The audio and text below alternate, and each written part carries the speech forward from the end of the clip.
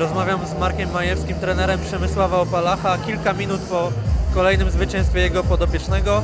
No, całkiem udany ten powrót po porażce z Jetowicza. Może nie było tak, jak sobie Przemek wymarzył, ale najważniejsze, że jest wygrana i to wygrana przed czasem, prawda? Tak, e, jestem bardzo zadowolony z wygranej, chociaż wolałbym, żeby zwycięstwo e, było po, po sportowej walce. No, przykro mi jest kontuzji rywala, ale e, walka była ciekawa. E, Przemek realizował to, co chcieliśmy, boksował w dystansie.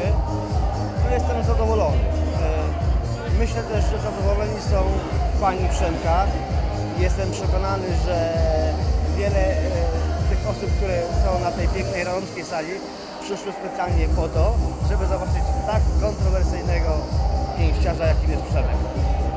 Przemek mi przed chwilą powiedział, że chciałby wrócić do ringu jak najszybciej. Kiedy to będzie możliwe? E, No wszystko zależy e, od naszych sponsorów, no i od promotorów.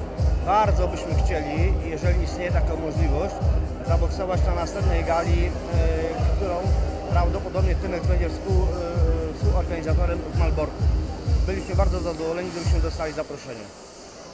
A czy rywal będzie już odrobinę bardziej poważny, czy z racji na to, że tutaj ta walka zakończyła się tak, jak się zakończyła, to będzie kolejny taki przeciwnik na podbudowanie rekordu i powrót po tym laniu Dajetowicza?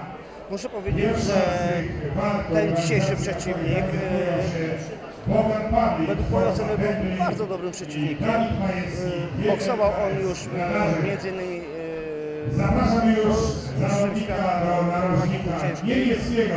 Gabriel Capillo. Tak, Gabriel Camilo boksował również e, z Darkiem Tulajem. Uważam, że nie był taki zły. No, chcielibyśmy e, no, na pewno nie mieć gorszego zawodnika. E, No wiadomo, że człowiek stara się rozwijać, ale myślę, że za wcześnie, za wcześnie jeszcze o tym mówić. Jak będziemy wiedzieli, że będziemy mogli boksować w Malborku, na pewno będziemy już jakieś negocjacje prowadzili z innymi promotorami, żeby ściągnąć ciekawego zawodnika.